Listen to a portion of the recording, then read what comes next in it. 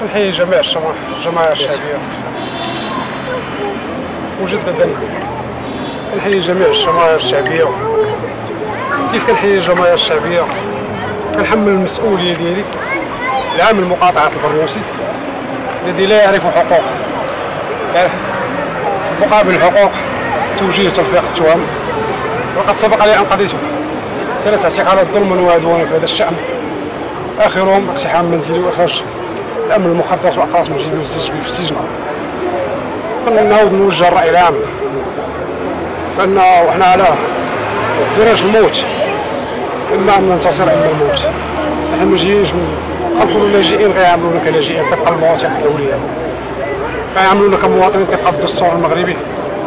طبقا للمواثيق الدوليه ولكن ما عندناش حق في المستوى ديال الملك؟ حنا عندنا حق في الدستور في الفصل 31 وبهذه المناسبة. كنعاود نحيي جميع الإخوة اللي تواصلوا اللي تضامنوا معنا على مستوى على مواقع التواصل الاجتماعي. كنحيي الناس اللي حضروا معنا هنا وكنحمل المسؤولية ديالي مباشرة لعامل مقاطعة البرنوسي والسيد أحمد بريجة.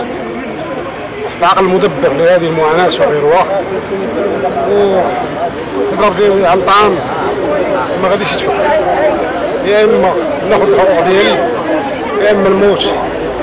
النداء ديالي جميع الحقوق السلام عليكم.